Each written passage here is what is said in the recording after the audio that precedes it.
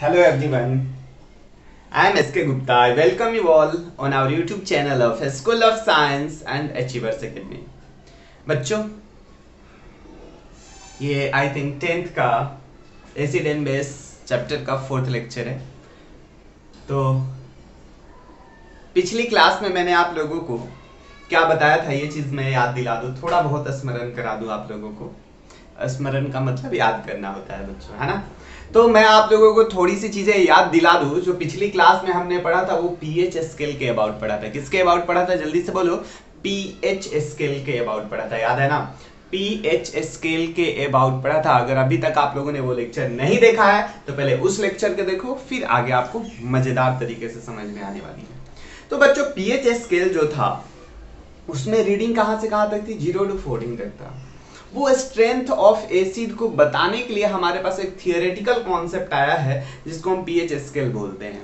लेकिन practical concept के according देखें तो हम एग्जैक्ट फिगर अभी भी फाइंड आउट नहीं कर पा रहे थे। एग्जैक्ट फिगर अभी भी फाइंड आउट नहीं कर पा रहे थे। डेट मीन्स हम ये पता तो कर सकते हैं ये तो पता कर सकते हैं कि एसिटिक एसिड, यानी विनेगर भी एसिड है, विनेगर भी एसिड है HCl भी एसिड है और H2SO4 भी एसिड है, लेकिन इन तीनों में सबसे ज़्यादा अच्छा एसिड कौन है, ये पता नहीं चल पा रहा था।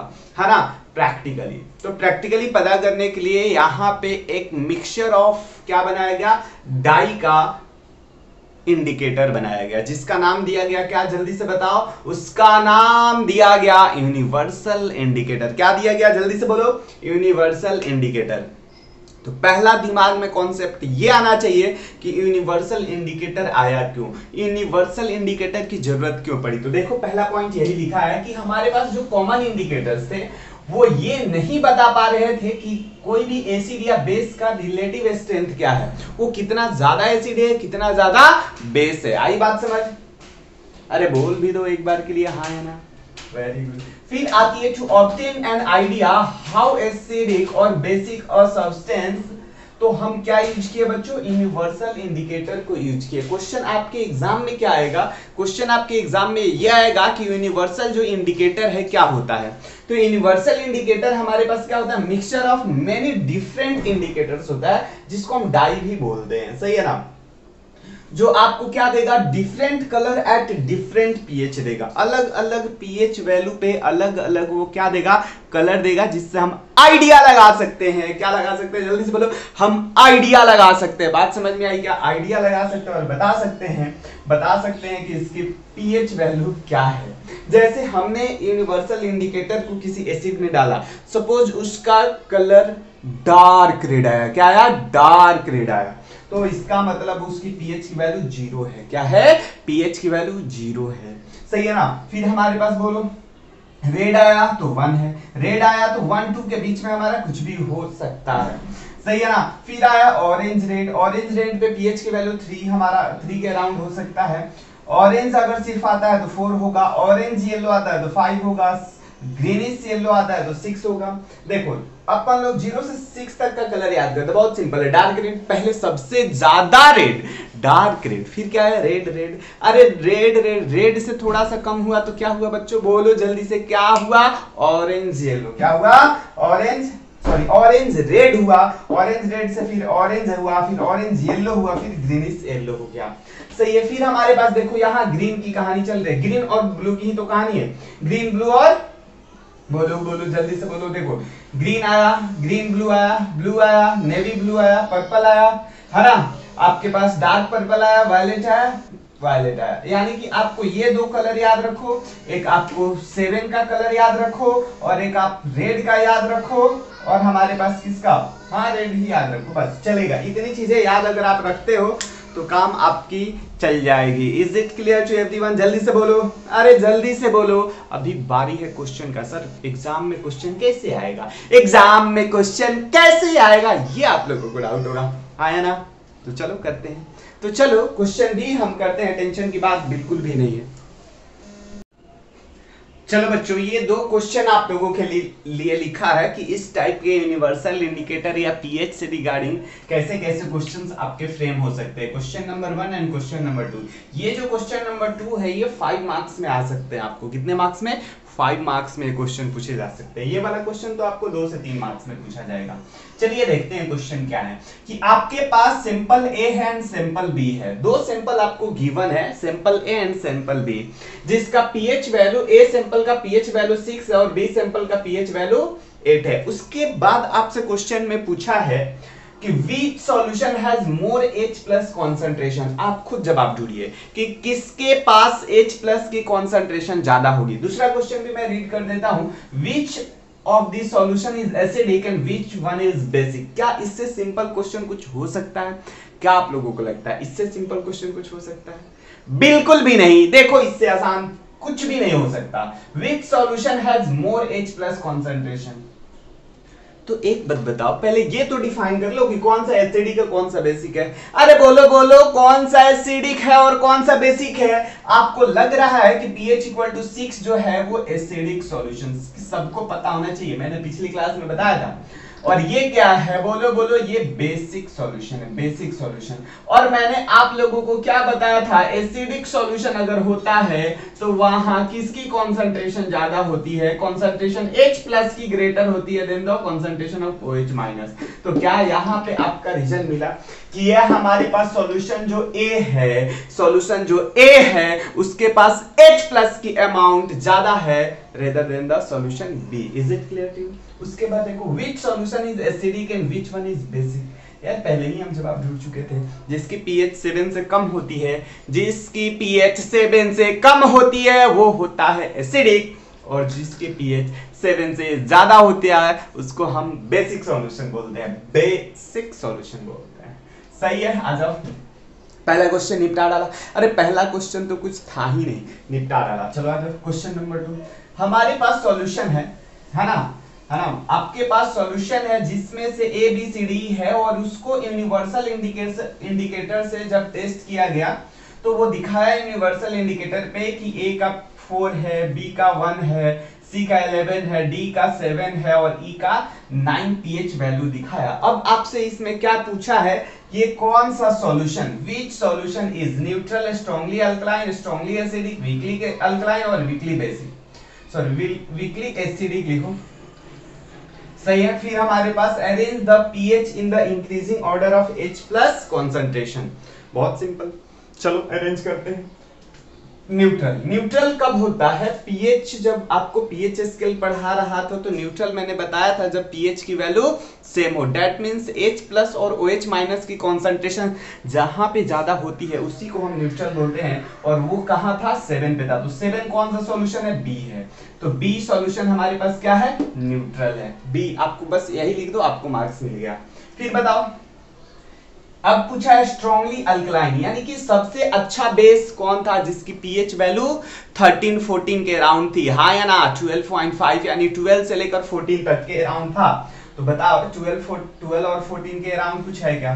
12 और 14 के अराउंड है क्या? यहाँ पे आपको ये भी बताया था कि 10.5 से 14 10.5 से 14 तो देखो ये रहा 11 10.5 से 14 के बीच 11 है तो स्ट्रॉन्गली अल्कलाइन कौन सा है?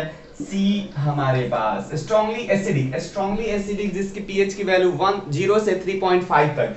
ज़ीरो से थ्री पॉइंट फाइव कौन सा है? एक ही दिख रहा है। B sample B sample is it clear to you weakly alkaline weakly alkaline जिसकी पीएच वैल्यू सेवन से लेकर टेन पॉइंट फाइव के बीच में। तो सेवन से टेन पॉइंट फाइव के बीच में क्या आपको नाइन दिखाई दे रहा है? हाँ या ना, ये सिंपल ई e है। वेरी गुड वीकली एसिडिक जिसकी पीएच वैल्यू 3.5 से 7 के बीच में 3.5 से 7 के बीच में हमारे पास 4 है। यानी सिंपल ए है। क्या आप लोगों को ये पता चला? बोले, बोलो। इसमें इससे आसान कुछ क्वेश्चन बन सकता था क्या? बिल्कुल भी नहीं बन सकता था। आगे देखो। Arrange the pH in the increasing order of H plus जो ज़्यादा एसिड जो ज़्यादा अच्छा एसिड जो ज़्यादा अच्छा एसिड उसी का तो कंसंट्रेशन H प्लस का ज़्यादा होगा। जो अच्छा एसिडिक सॉल्यूशन होगा, उसकी कॉन्सेंट्रेशन H प्लस का ज़्यादा होगा। जैसे यहाँ बात कर ले बोलो बोलो, सबसे अच्छा एसिड कौन सा है जिसकी पीएच वैल्यू कम? तो ये हमारे पास B है। B हमारे पास इस B के पास सबसे ज़्यादा एसिडिक ऑर्डर डिफाइन कर लो ना। एसिड हमारे सबसे पास अच्छा ए है। सॉरी बी है। B के बाद आपको क्या दिखाई दे रहा है? पीएच वैल्यू पहले अरेंज करो। पीएच वैल्यू हमारे पास कौन सा पीएच वैल्यू हम अरेंज करते हैं। चलो पीएच वैल्यू कौन सा है? वन वन के बाद, वन के बाद क्या आएगा? फोर आएगा। यानी वन वाला कौन सा है? बी है। वन वाला बी है। फिर क्या है? फोर वाला कौन सा है? ए है। फोर वाला ए है। सही है। वेरी गुड उसके बाद देखो, फोर के बाद क्या आएगा? सेवन आएगा। सेवन कौन सा है? सी। सेवन डी है। सेवन आएगा तो सेवन हमारा डी है। उसके बाद क्या है? जल्दी से बोलो। सेवन के बाद नाइन आएगा। नाइन सीधे हमारे पास क्या है बच्चों? ई e है। और फिर क्या है बच्चों? इलेवन इलेवन हमारे पास कौन सा है? ए बी सी है। सी है। है ना? 11 हमारे पास सी है। तो दिस इज़ योर इंक्रीजिंग ये हमारे पास पीएच कम से बड़ा है। तो जिसकी पीएच लो होती है, वही तो ज़्यादा अच्छा एसिड होता है। जिसकी पीएच लो होती है, वही अच्छा एसिड होगा। और उसकी कॉन्सेंट्रेशन एच प्लस की क्या होगी?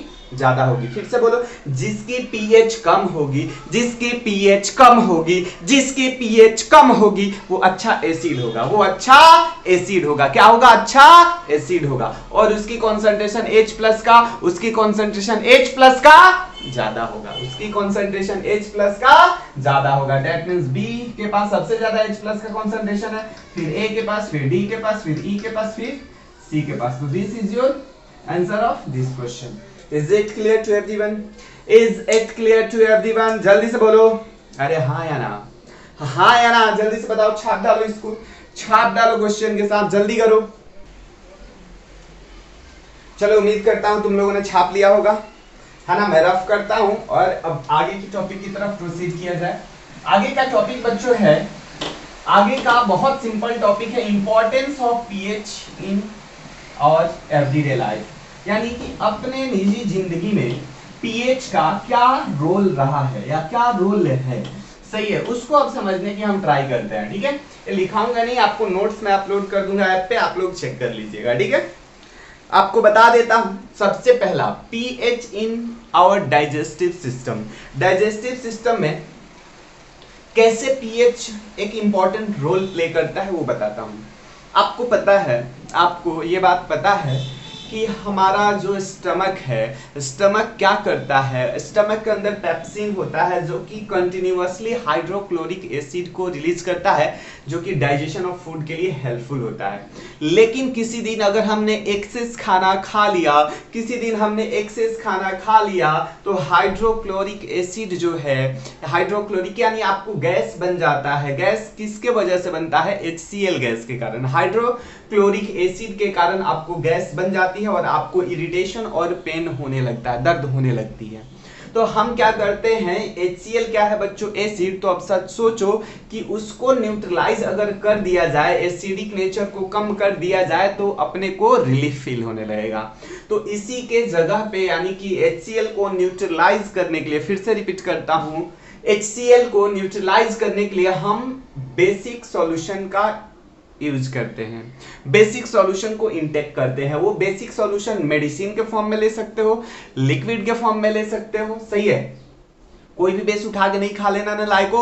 स्ट्रॉन्ग बेस खाओगे, अलग ही उसका साइड इफ़ेक्ट आपको दिखने लगेगा। उसके लिए हम वीक बेस का यूज़ करते हैं, जो कि होता है एंटा एसिड क्या होता है? जल्दी से बोलो। एंटा एसिड फिर से बोलता हूँ। एंटा एसिड एंटा एसिड का हम यूज़ करते हैं जो कि एसिड के साथ रिएक्ट करके है ना एसिड के साथ रिएक्ट करके न्यूट्रलाइज कर देता है। इसका नाम एंटा एसिड है। कुछ लोग बोलते हैं, सर, ये एसिडिक नेचर का है क्या? अरे नहीं, ये एसिड के अपोजिट काम करता है, इसलिए इसका नाम एंटा एसिड रखा गया है। क्या रखा गया है? जल्दी से बोलो।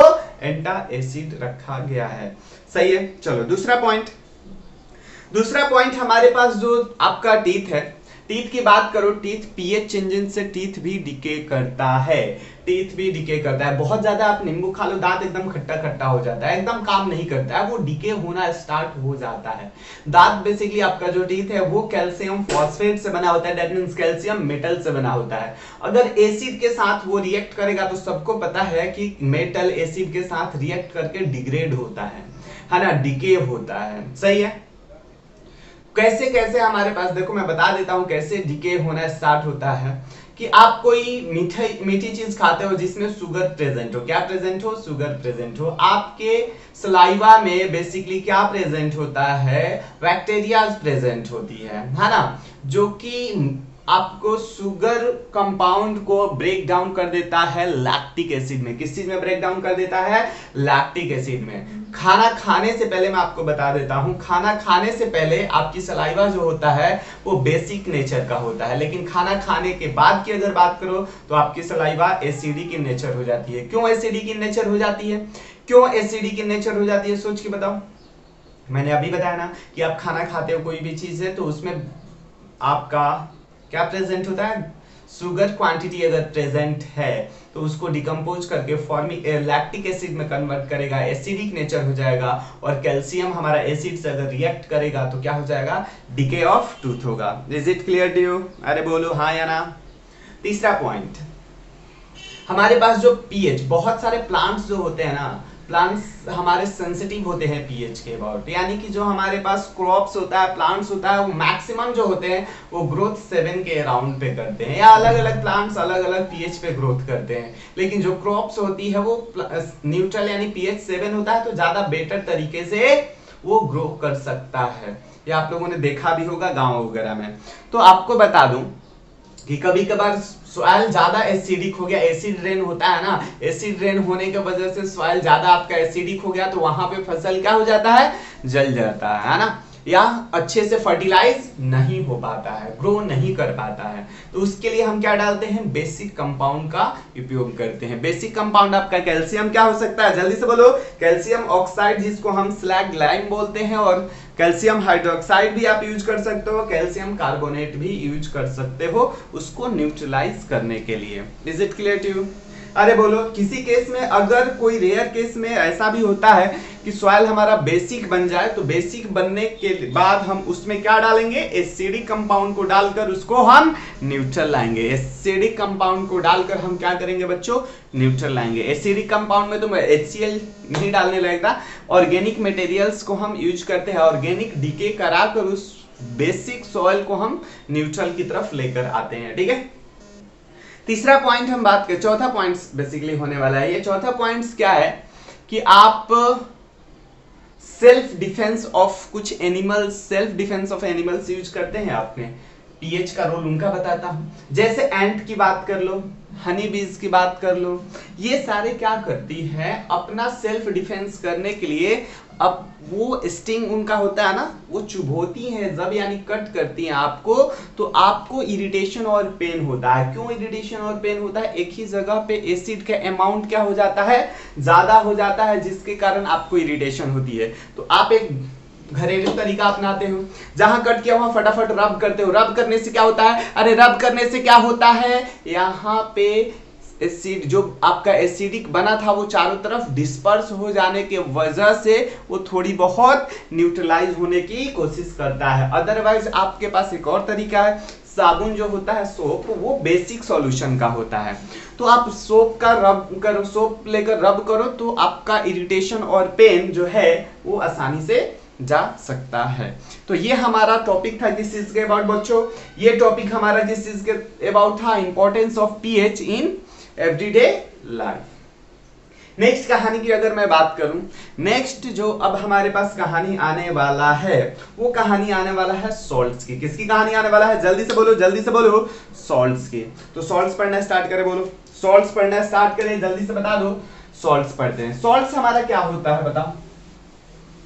कोई बताओ सॉल्ट्स क्या होता है? सॉल्ट्स क्या होता है? जल्दी से बोलो। सॉल्ट्स क्या होता है? पीछे वाला बोल रहा है, सर, जब एसिड और बेस रिएक्ट करता है तो सॉल्ट बनता है। जब एसिड और बेस रिएक्ट करता है तो क्या बनता है? सॉल्ट बनता है। जल्दी से बोलो। पीछे वाला क्या बोल रहा है? जब एसिड और बेस रिएक्ट करता है तो क्या बनता है? सॉल्ट बनता है। है ना? यानी पहला पॉइंट लिख दो कि सॉल्ट इज़ फॉर्म्ड है ना? Salt is formed when acid and base react. Acid and base, जल्दी से बोल दो, यही होगा क्या? एसिड एंड बेस रिएक्ट करेगा तो हमारा सॉल्ट का फॉर्मेशन होगा। है ना? अरे जल्दी से बोलो हाँ या ना? अरे हाँ या ना?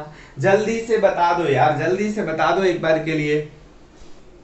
उसके बाद फिर से कहानी आती है कि दूसरे तरीके से भी डिफाइन कर सकते हो कि हमारे पास एसिड इज़ फॉर्म्ड या salt is formed when salt is formed when ना when hydrogen is replaced hydrogen hydrogen is replaced from an acid hydrogen is replaced from an acid by metal.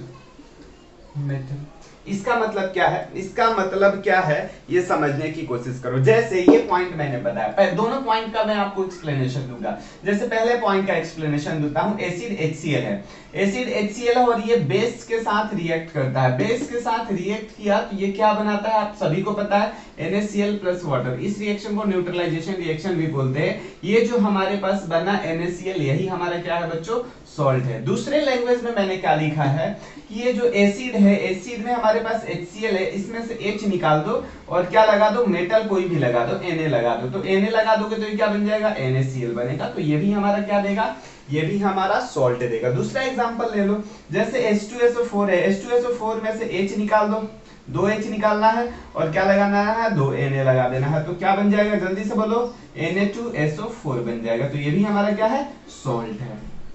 Is it clear to अरे बोलो जल्दी से, ये बात आप लोगों को क्लियर हुई कि सॉल्ट का फॉर्मेशन कैसे होता है। ये वाला एग्जांपल इस तरीके से देख लो कि H2SO4 जब रिएक्ट करेगा Na2SO4 के साथ तो बेसिकली क्या बनेगा? सॉरी H2SO4 बेसिकली किसके साथ रिएक्ट कराना है? अरे जल्दी से बता दो यार NaOH के साथ कराना है तो क्या बन जाएगा? Na2SO4 प्लस वाटर की फॉर्मेशन हो जाएगी। बहुत ही ज़्यादा सिंपल तरीके से अगर समझे तो ये कहानी चल रही है सॉल्ट्स की। हाँ या बोलो बोलो। अब यहाँ सॉल्ट्स जो है सॉल्ट्स बेसिकली सॉल्ट्स जो है दो कैटेगरी डिफाइन करता है। दो टाइप्स के इसमें क्या प्रेजेंट होते हैं? दो पार्ट्स प्रेजेंट होते हैं। दो पार्ट्स में लिख देता हूँ। सही है?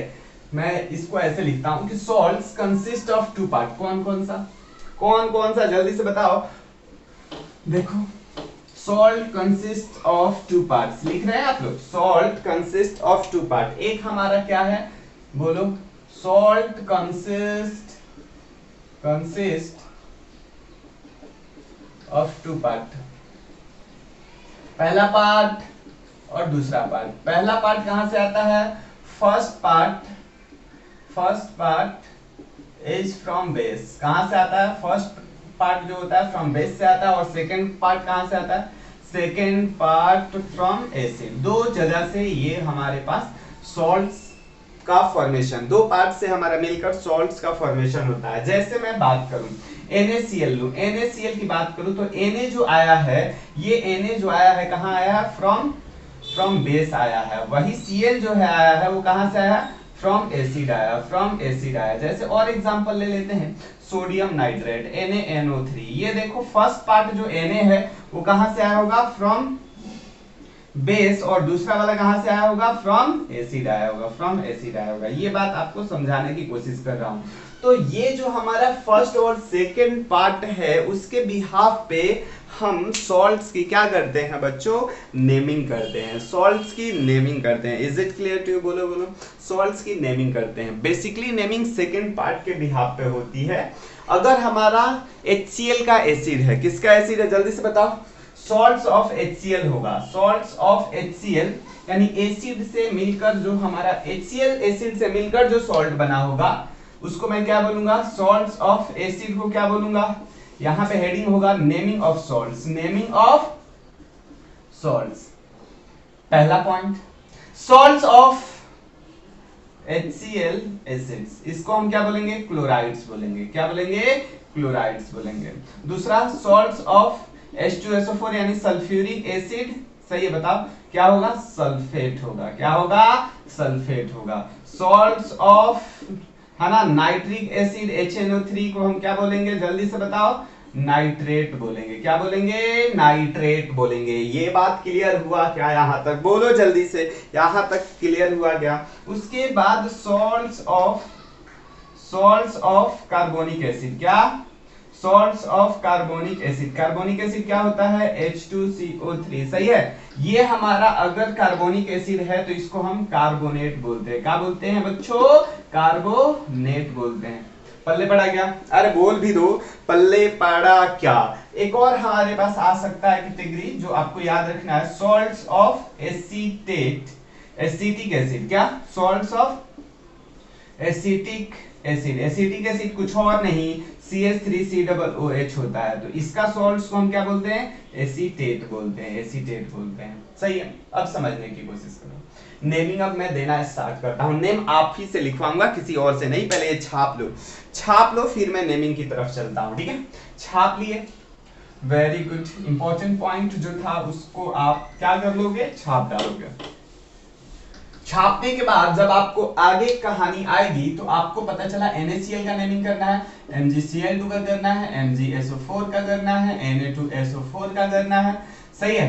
Na2CO3 का करना है MgCO3 का करना है CSCO3 का करना है नेमिंग जल्दी से करो, जल्दी से ये सारी चीज़ें नेमिंग खुद से करो, मैं आंसर बताऊँगा मैच कराना। आंसर मैं बताऊँगा, आप मैच कराओगे। क्लियर है? बिल्कुल क्लास वाली फीलिंग्स लो, बिल्कुल क्लास वाली फीलिंग लेकर पढ़ोगे तो मज़ा आएगा पढ़ने में। मज़ा आएगा आपको पढ़ने में, ठीक है? अब हम बात कर लेते हैं Na दे दिया, है ना?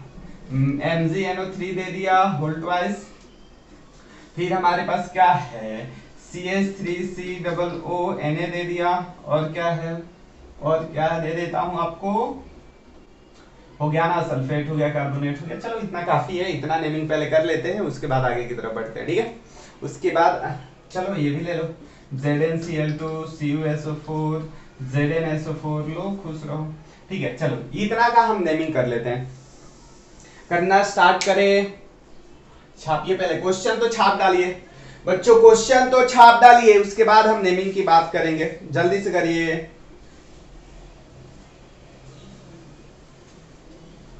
हो गया। हुआ क्या? फटाफट करिए फटाफट करिए।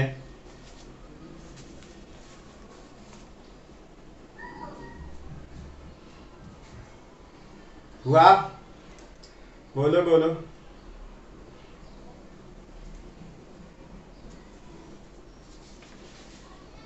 चलो देखते हैं, इसका नेमिंग करते हैं, ठीक है? नेमिंग कर लेते हैं। नेमिंग क्या है? सबसे पहले ये किस फैमिली का है? क्लोराइड फैमिली का। है ये और ये क्लोराइड है तो इसका नाम एस एन ए को सोडियम बोलते हैं। क्या बोलते हैं? सोडियम तो नाम क्या हो जाएगा? सोडियम क्लोराइड हो जाएगा। सही है? MgCl2 बता दो नाम क्या हो जाएगा? मैग्नीशियम क्लोराइड क्या होगा? मैग्नीशियम क्लोराइड और ये क्या है? ये क्या है बच्चों? कुछ और नहीं। मैग्नीशियम सल्फेट क्या है? मैग्नीशियम सल्फेट ये क्या है? बोलो बोलो। सोडियम, ये क्या है? ये सोडियम सल्फेट है। और ये क्या है? ये सोडियम कार्बोनेट है। क्या है? सोडियम कार्बोनेट है। ये क्या है? ये क्या है? Mg है तो Mg का नाम मैग्नीशियम होता है। मैग्नीशियम CO है तो कार्बोनेट। यही तो बताया था CO3 कार्बोनिक एसिड से बना है। ये बताओ, कैल्शियम कैल्शियम कार्बोनेट हो गया, कैल्शियम कार्बोनेट हो गया। ये क्या है? सोडियम क्या है ये? सोडियम नाइट्रेट है। सोडियम नाइट्रेट है। और ये क्या है? मैग्नीशियम।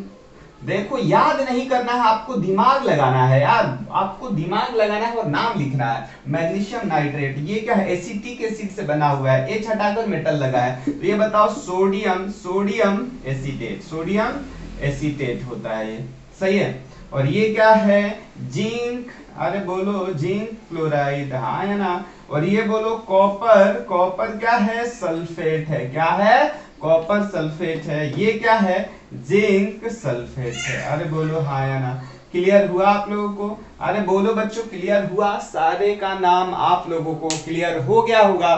तो इसको फटाफट छाप डालिए, उसके बाद हम एक दो क्वेश्चन की तरफ़ चलेंगे, ठीक है? जल्दी से छापिए इसको। तो देखो बच्चों, ये क्वेश्चन की तरफ़ हम चलते हैं। क्वेश्चन बहुत ही प्यारा है आप लोगों के लिए। ध्यान से देखिएगा इस क्वेश्चन को। क्वेश्चन क्या है? कि write the formula of salts given below and identify the acids and bases from which this may be obtained. इस टाइप का क्वेश्चन आपके लिए बहुत ज़्यादा इंपॉर्टेंट हो जाता है, क्योंकि ये फ़र्स्ट टाइप का क्वेश्चन है। अभी इसका सेकंड टाइप का क्वेश्चन क्या आता है यही सेम क्वेश्चन दिया होता और बोला होता कि आइडेंटिफाई करो कि कौन सा सॉल्ट एसिडिक होता है, कौन सा बेसिक होता है। अभी हम थोड़े देर बाद उस टॉपिक पे आएँगे, लेकिन पहला कंसर्न दोनों का, दोनों क्वेश्चन को करने का तरीका सेम है। दोनों क्वेश्चन को करने का तरीका बिल्कुल ही सेम है। अब चलो इधर देखते हैं। देखना ध्यान से। ध्यान से देखना, ये क्वेश्चन क्या बोल रहा है? कि सबसे पहले ये कौन से एसिड और कौन से बेस से मिलकर ये सॉल्ट बना है? तो पहला वाला मैं डिस्कस करता हूँ ध्यान से देखो। K2SO4 है ना? अरे हाँ या ना बोलो K2SO4 है।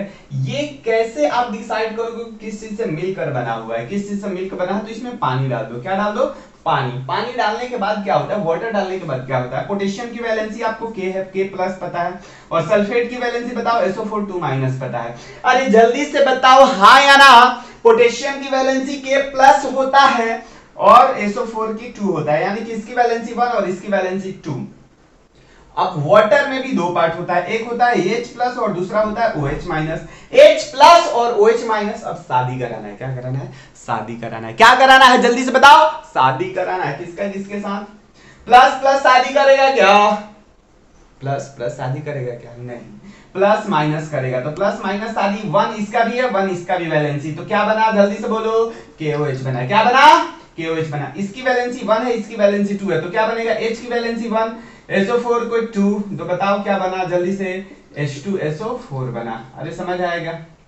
बोले, बोलो, इससे आसान तरीका हो ही नहीं सकता फिर से रिपीट करता हूँ, ध्यान से देखना। K2SO4 को जब हमने पानी में डाला तो KOH और H2SO4 का फॉर्मेशन दिया, कैसे दिया? कि K प्लस होता है, K प्लस होता है और SO4 पे 2 माइनस होता है। सही है, K प्लस होता है SO4 पे 2 माइनस होता है। अब K वाटर में H प्लस और OH माइनस होता है। H प्लस और OH माइनस तो K किसके साथ जाएगा? K किसके साथ जाएगा भैया? अरे के किसके साथ जाएगा? OH के साथ जाएगा। K किसके साथ जाएगा?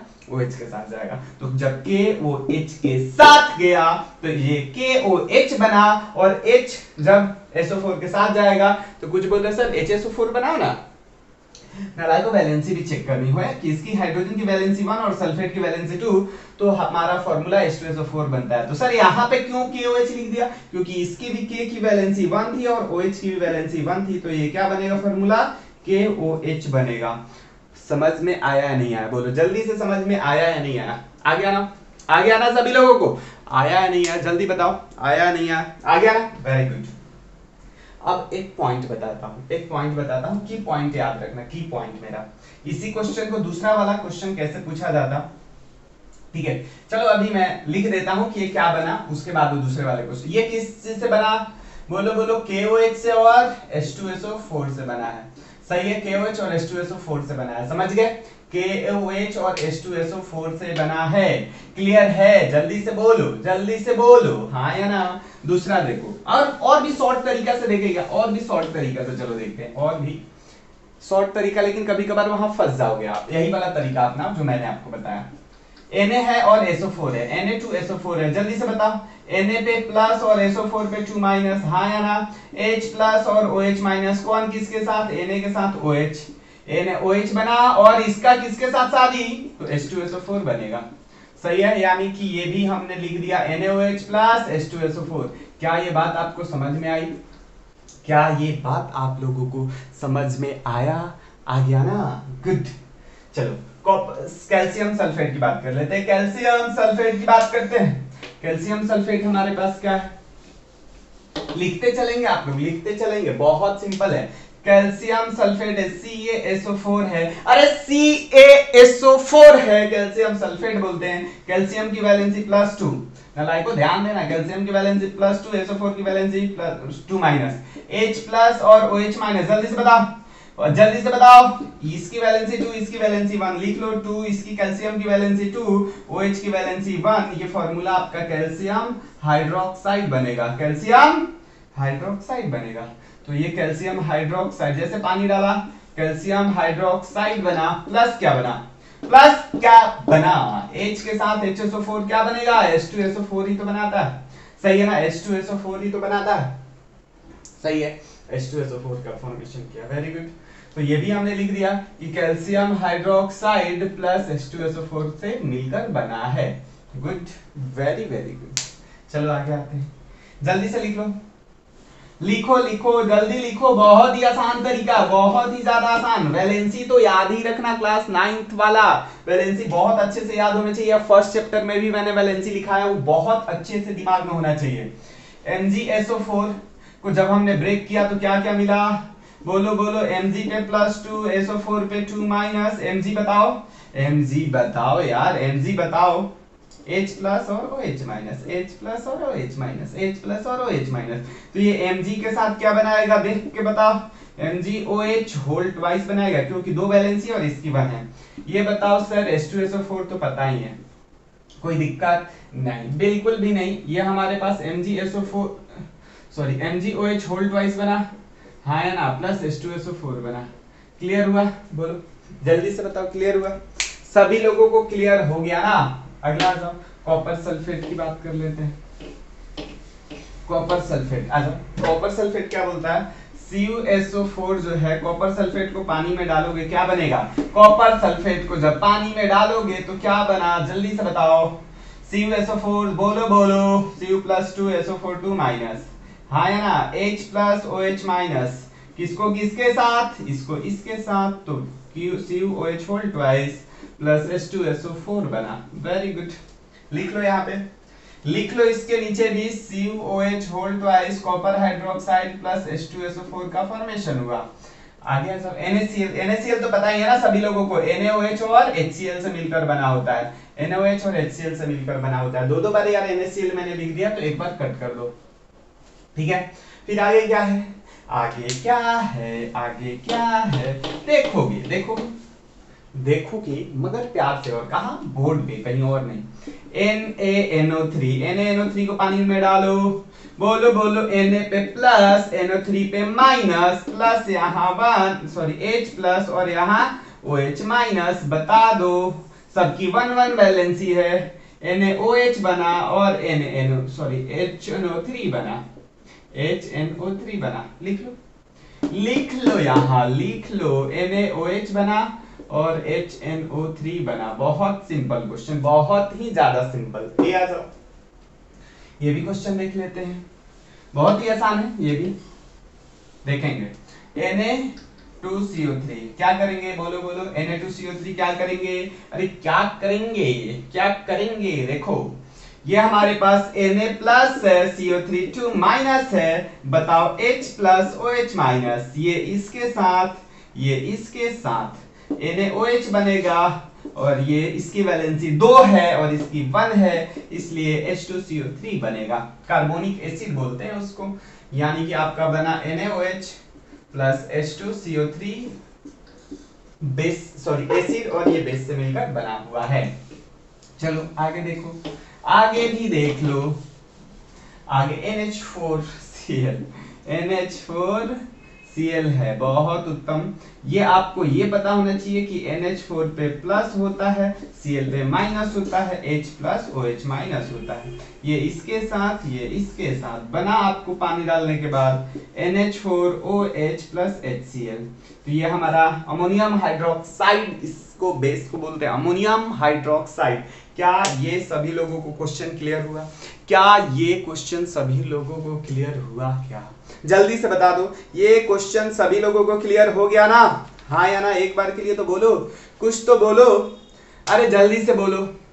वेरी गुड एक पॉइंट आप लोगों को मैं बता देता हूँ, एक पॉइंट आप लोगों को बता देता हूँ, जैसे एसिड जैसे एसिड इलेक्ट्रिसिटी का कंडक्शन कराता है। एसिड या बेस जैसे इलेक्ट्रिसिटी का कंडक्शन कराता है, वैसे ही सॉल्ट्स भी इलेक्ट्रिसिटी का कंडक्शन कराता है। क्यों? क्यों बच्चों सॉल्ट इलेक्ट्रिसिटी का कंडक्शन क्यों कराता है? जैसे यही वाला सॉल्ट ले लेता हूँ अमोनियम क्लोराइड तो ये अपने आयंस में ब्रेक हो सकता है। आयंस एक पॉजिटिव आयंस और दूसरा निगेटिव आयंस तो कोई आपसे क्वेश्चन पूछा कि why salts conduct electricity why salts conduct electricity due to the presence of ions कौन कौन सा? Positive part and negative part यानी केटायंस एंड एनायंस के वजह से ये इलेक्ट्रिसिटी को क्या करता है बच्चों? सो करता है। क्या करता है जल्दी से बताओ? सॉल्ट किसके वजह से इलेक्ट्रिसिटी का कंडक्शन कराता है? Due to the presence of and anions यानी आयन सिंपली हम आयंस बोलते हैं। सही है बच्चों, अरे बोलो जल्दी से हाँ या ना। तो आज के लिए हम इतना ही रखते हैं। मिलते हैं अगली क्लास में नई एनर्जी और नई टॉपिक के साथ। अगली क्लास में हम क्या पढ़ने वाले हैं? सॉल्ट्स के पीएच के अबाउट पढ़ने वाले हैं। सॉल्ट्स के पीएच के अबाउट पढ़ने वाले हैं और ये क्वेश्चन हम फिर से वहाँ पे डिस्कस करने वाले हैं। पीएच से रिगार्डिंग इस क्वेश्चन को हम डिस्कस करेंगे okay is it clear to everyone बोलो जल्दी से हाँ या ना? चलिए बच्चों, मिलते हैं अगली क्लास में। थैंक यू आज के लिए इतना ही।